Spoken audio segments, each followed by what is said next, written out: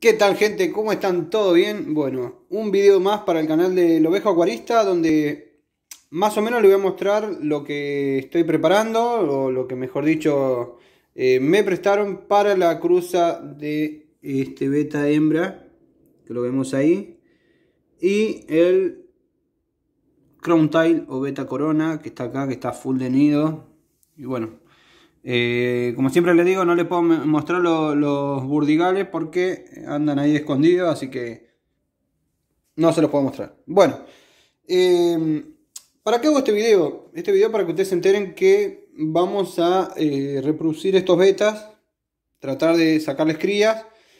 Les voy a mostrar todo lo que van a necesitar. Eh, es más, esto va a ser, como yo les digo, este es un canal para la gente principiante que recién arranca, pero... Te voy a explicar más o menos cómo sacarle cría si vos tenés un beta, una parejita de beta.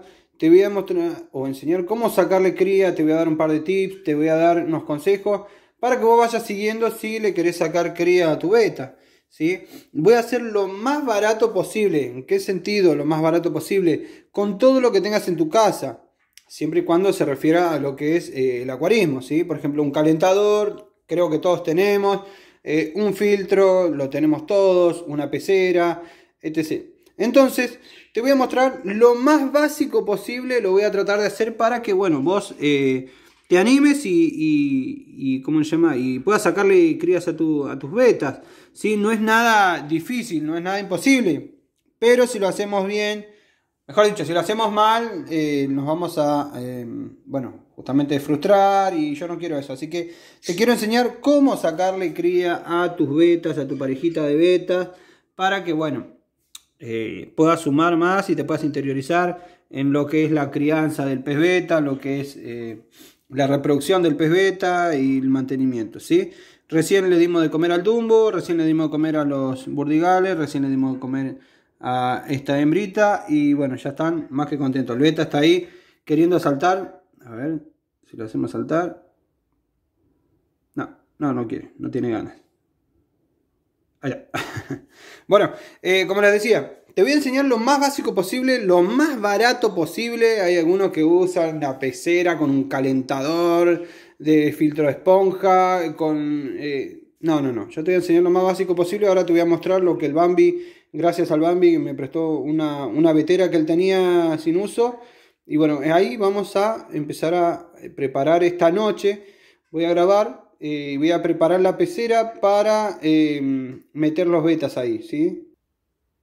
Bueno, así que esta es la vetera que el Bambi me prestó. Una vetera de casi 66, 60 y moneda tiene el mueble este. Y bueno, eh, no les muestro mucho mi casa o las partes de los costados del mueble porque está un desastre. Estoy remodelando, así que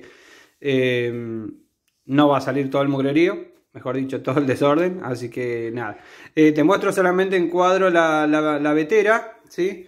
Em, bueno, acá veíamos que el Bambi tenía unos bocas falsas, unos kili boca falsa, y acá unos, unos patriciae, bueno, y, toda la mugre que, que tiene esta vetera, ¿sí?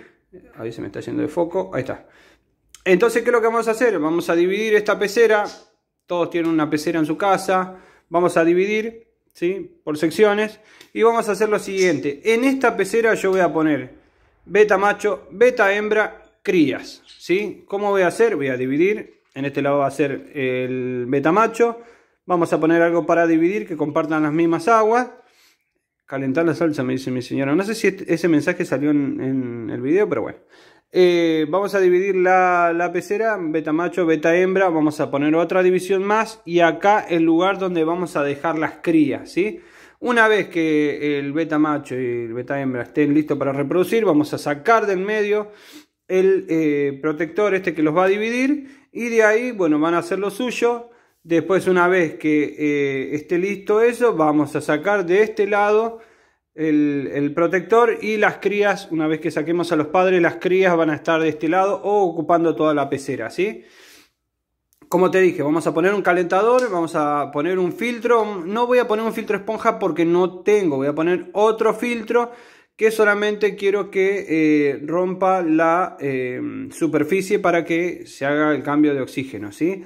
Eh, después de eso, bueno, ya la van a ver esta noche cómo, cómo lo voy a armar. Posiblemente suba el video hoy, eh, o mañana, o pasado, no sé. Pero lo voy a armar bien para mostrarle a ustedes. Obvio, el filtro que yo tengo, se lo voy a mostrar en, el otro video.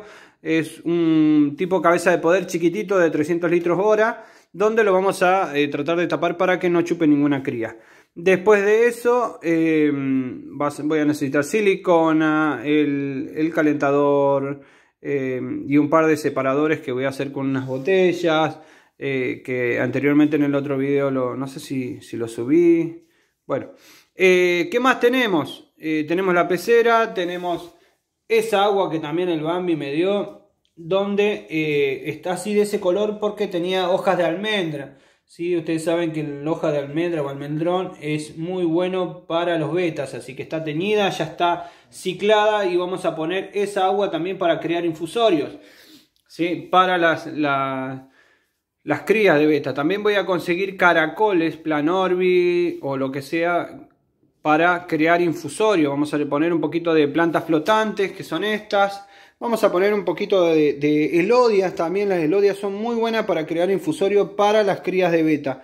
¿sí? Así que bueno, todo lo que vamos a poner acá nos va a servir y yo te voy a ir mostrando para qué. Si vos tenés algo en tu casa o querés un proyecto de beta y querés eh, reproducirlo y querés tenerlo y sacarle crías, bueno, yo te voy a explicar entonces en los próximos videos van a ir siendo parte por parte para que vos puedas tener una guía y armar y sacarle cría a los betas. Dale, te dejo un abrazo grande. Eh, gracias por, seguir el canal, gracias por compartirlo, eh, gracias por darle like. Un abrazo grande a todos los suscriptores. Ya somos 367. Muchas gracias a todos los que miran los videos.